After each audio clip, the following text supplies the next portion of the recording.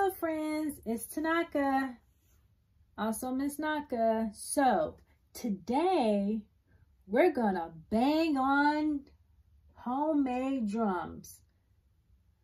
Homemade drums? Yes, you can make your own homemade drums.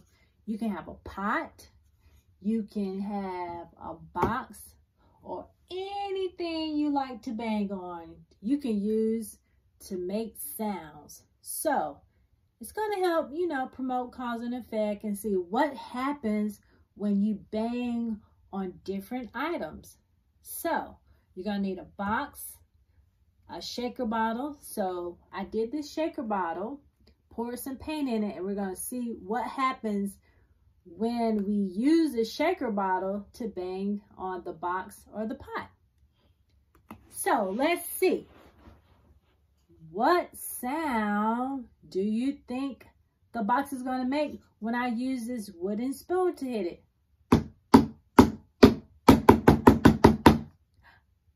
Sound.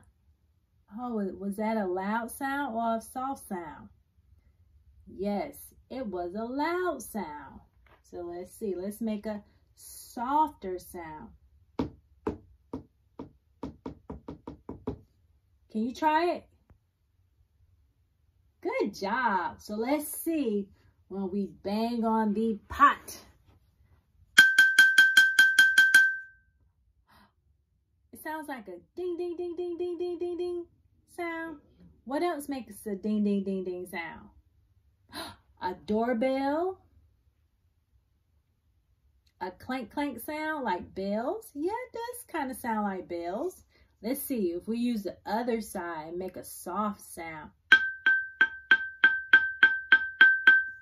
Is it still kind of loud? And let's go. Listen. Hear those different sounds? Is this like a hollow sound? Hmm. What sound do you hear? A clank clank sound? Oh. Let's see what happens when I use the shaker bottle to bang and mix up the paint.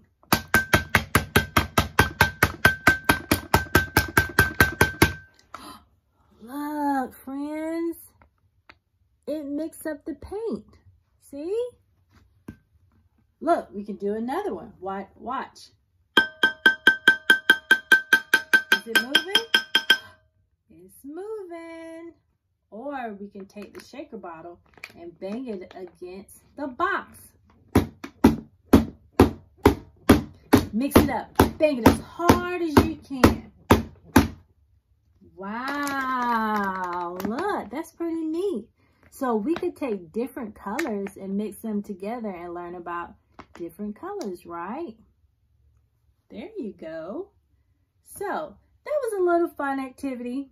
Just you can use anything around the house just to make a drum like so, like that. All right, friends, have a great day.